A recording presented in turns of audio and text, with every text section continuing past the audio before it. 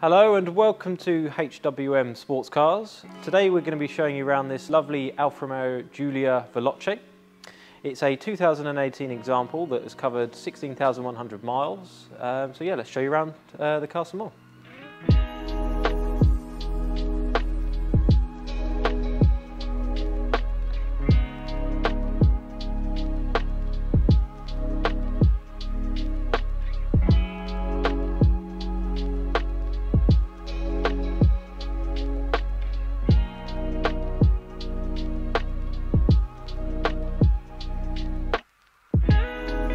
Okay, so starting off with the colour, this is finished in Misano blue and it does also have the 18 inch alloy wheels which are the five hole dark finish and uh, also it has the black brake calipers which do look very smart.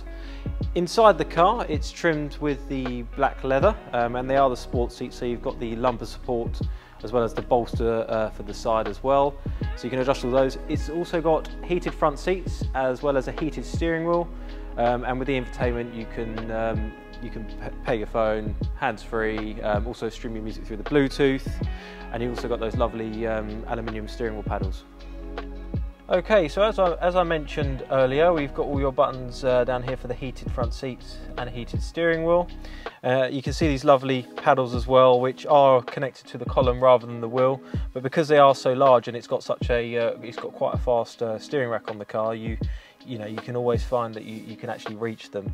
Um, down in the center console, you do also have your Alfa DNA uh, selector, so you can put it dynamic, sport, normal is obviously your, your normal driving, and A for all weather. Um, gearbox wise, it does have an 8 speed ZF gearbox um, with start stop system.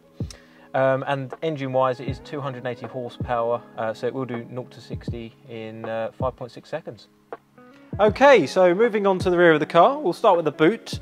Um, as we can see, it's a, uh, it's a very good size, but you can also fold down the rear seats if you need to get anything particularly long in or slightly larger. Um, also, we can see you've got the rear parking sensors. It does also have front parking sensors, um, and you've got that lovely rear diffuser um, with the dual exhaust pipes as well. Um, Condition-wise, it has been very well looked after. Um, no sort of scuffs or, or, dents anywhere around the car. Um, and service history wise, it does have a full Alfa Romeo service history. It is due a service in March, which we'll be sending it to Alfa 4. Thank you for watching uh, this video. If you have any further uh, questions or you'd like some more information, um, do give us a call on 01932 240 611.